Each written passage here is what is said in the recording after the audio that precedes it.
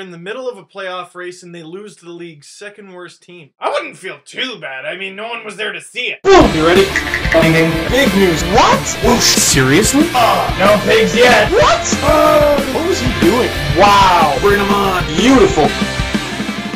Leafs win 2 to 1 in overtime. And with the playoffs basically out of reach for the Leafs, these guys are just playing spoilers all over the place. More spoilers than an auto body shop. And about half as expensive. Didn't start out too well though. Zach Bogosian scoring a power play goal about halfway through the first to put the Thrashers up 1 0. And there was a lot of talk heading into this game about 19 year old Zach Bogosian playing on the same team as 48 year old Chris Chelios. To give you an idea of just how old that is in the NHL, the average age of the Leafs is 26.7, which means Chelios is just about old enough to remember the Leafs winning the cup, and the average age of the Leaf is just old enough to remember Wendell Clark getting drafted. In fact, they probably don't even remember it, but they were alive. Baby's first words. Wendell Clark? But anyway, just over a minute after Bogosian makes it 1-0 Atlanta, Phil the Thrill says, chill, I got skill. And he ties the game, scoring his 29th goal of the season, just one shy of 30. And a lot of people talk about Kessel being, you know, a bit of a disappointment, not really living up to expectations. Well, he got 36 goals last year, and he's probably going to score over 30 this year in a season that was shortened because of shoulder surgery, going from the best team in the Eastern Conference to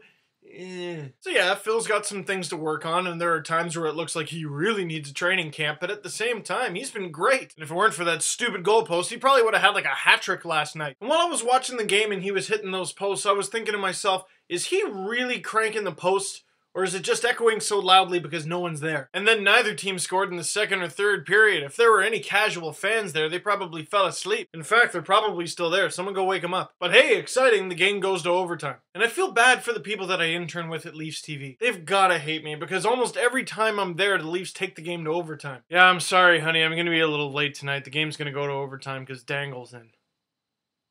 He's the kid with the he does the hat thing. Are you talking about me? But shortly after Ron Wilson says, you know what, this guy's not having a very good game, Mikhail Grabovski heads to the net. Dion Phaneuf shoots it. Mikhail Grabovski with the textbook tip into the net, and the Leafs win it in overtime. And that really would have been a nice win for Atlanta to pick up because Boston lost, but they only gained the one point on them. And a big part of the Leafs winning, the monster. This was Jonas Gustavsson's sixth straight win. He hasn't lost in a Leaf uniform since February 5th. He's led in 12 goals in six games for a goals against average of less than two over that span because four of those games went to overtime. Over these six games, he stopped 147 out of 159 shots for a .924 save percentage, improving his season's record and actually his career record to 14, 13, and 8. Do not adjust your screen. There is a Leaf goalie with a record above 500. A rookie playing his first season in North America on the league's second worst team in the midst of two minor heart operations. Hey, did you hear Burke doesn't like Europeans? Now the Leafs head back to the ACC where they're going to take on the New York Rangers. And people are already making a fuss over, ooh, Dion Phaneuf's going to be playing against Sean Avery, which is kind of untrue because Dion Phaneuf plays against the other team's best players. But I just hope the Leafs are careful because Avery's into playing all these mind games and chirping around,